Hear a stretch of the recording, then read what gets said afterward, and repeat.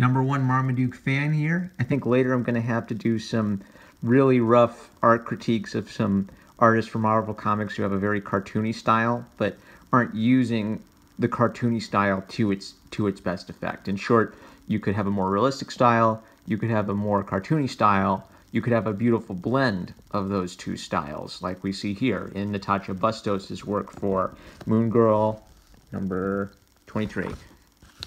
So pretty much, uh, I see superhero comics in general as being a cartoonist art, even if you have a more realistic style. Everything about the medium lends itself to the way that cartoonists exaggerate expression, emotion, and uh, body language. So, so the, the the tough part is blending those elements into a cohesive whole, because cartooning lends itself to an unrealistic, abstract way of representing people, like Scrooge McDuck in Carl Barks Carl Barks's comics is a abstract representation of a human character and a human personality in the form of a very simple duck.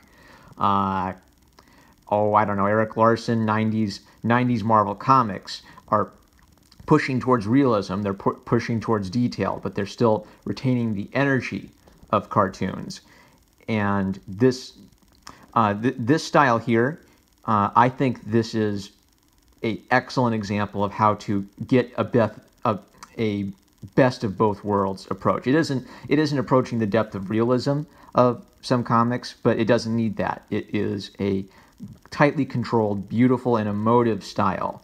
And I think you should look to. Uh, I, I think you should look. Let's get it. Let's get it right. I think you should look to Bustos. I think you should look to Bustos as an example to follow. I call them big brothers or big big sisters in art. You find you find someone who has what you're striving to look for, and you don't copy them 100%, but you do look to them as having the qualities you're trying to develop within your own practice that you're struggling with. So uh, let's look at another one. All right, this little drawing here. I don't remember where I saw this, but I've seen several Marvel comics where the artists have the habit of drawing and clearly scaling things up and down to try to make it work. So they're not composing on the paper.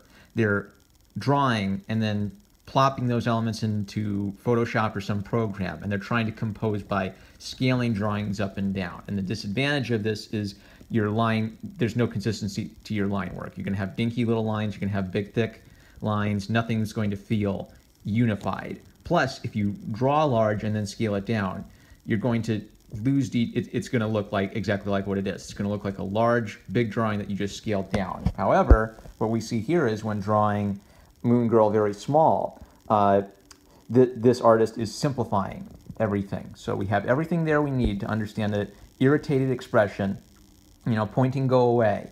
But this was actually drawn at an appropriate scale. This wasn't falsely scaled down later. The result is consistency and visual appeal. So maximum respect to this artist, maximum respect to Moon Girl. I may do some uh, critiques later talking about the story. Even this one, man, I just keep seeing really good stuff. You know, big, wide, cartoony mouth, but nails what it needs to nail to convey the idea of the emotion. Excellent. Pick it up.